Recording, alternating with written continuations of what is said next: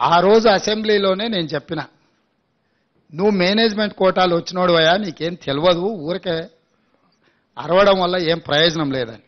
మొత్తం సభ నడిచిన తీరు మీరు చూసిరు కదా.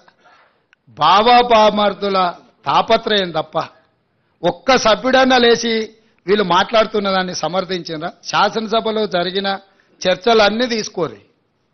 వాళ్ళిద్దరే ఆరాట వాళ్ళిద్దరే పోరాటం చేయాలని చూస్తున్నారు. మిగతా ఎవ్వరు వాళ్ళతో కలిసి రాలే. అక్కడ అన్ని గంటలు వాళ్ళకి అవకాశం ఇచ్చినాం చర్చించడానికి. వాళ్ళు ఎంతసేపు అడిగితే అంతసేపు మైక్ ఇచ్చినాం. మా అందరికీ ఎంత తీసుకున్నాం అంతకంటే ఎక్కువ వాళ్ళకి అవకాశం ఇచ్చినాం. సో అక్కడ చెప్పలేంది. ఇంటి దగ్గర పోయి ఆయన మాట్లాడుతుండు. వెనకడికి ఎవరో ఇద్దరు దంచుతున్నారట. ఇక ఆ దంచుడు ఎట్లుందనంటే రోళ్ళకెళ్ళి నిప్పులు ఇట్లా ఎగురుతున్నాయి. ఇక ఆ దంచడం చూసి అందరు అబ్బా ఏం దంచుతురు ఏం దంచుతురు అని అందరు చప్పట్లు కొడతానే ఉన్నారు భజన పార్లు అందరు. ఓ అరగంట అయినాక పెద్దావిడ మిసలావిడ అట్లకెళ్ళి పోత పోత చూసి అరే ఆ రోళ్ళు జొన్నలు లేవు సజ్జలు లేవు ఎందుకు ఎగిరెగిరి దంచుతురు ఎంత దంచినా అలచిపోడు తప్ప దాంతో వచ్చేది ఏం లేదని చెప్పినాడు. అసెంబ్లీలో కూడా హరీష్ కేటీఆర్ దంచుడు గట్లున్నది ఆడ విషయం లేదు. ఎగిరెగిరి దంచినా ఎగరకుట్ట దంచినా ఆడున్నదంతా గంతే. మేము ఉన్న వాస్తవాలు అక్కడ బయట పెట్టినాం. మా ఆర్థిక మంత్రి గారు మా ఉప ముఖ్యమంత్రి గారు వాస్తవాలను అక్కడ టేబుల్ చేసి మీరు ఏమేం చెప్తారో చెప్పండి అని చెప్పి రోజంతా సమయం ఇచ్చినాం. అక్కడ చెప్పాల్సింది చెప్పకుండా ఇంటికాడికి పోయి మళ్ళేదో కొత్త దుకాణం తెరిచాను. వాళ్ళ దగ్గర ఉన్న ఆస్తి రక్త ప్రజల యొక్క రక్త మాంసాలను పీల్చి పిప్పి చేసి సంపాదించుకున్న సంపద. ఈరోజు వాళ్ళు తింటున్నారంటే అది రక్తపు కూడు. అది స్వేదపత్రం కాదు. మా వాళ్ళు ఏం చెప్పిండ్రు? నిజంగా ఉపయోగపడే వాటి అన్నిటినీ కూలగొట్టి మళ్ళీ నిర్మించిందని అన్నారు. ఫర్ ఎగ్జాంపుల్ ఈ సచివాలయమే తీసుకో. గతంలో ఉమ్మడి రాష్ట్రానికి ఉపయోగపడ్డ సచివాలయం రెండు వేల పన్నెండులో ఎల్ఎన్టీ కంపెనీ కట్టిన భవనాలు అన్నీ ఉండే. పన్నెండు లక్షల స్క్వేర్ ఫీట్ ఉండే ఆ రోజు.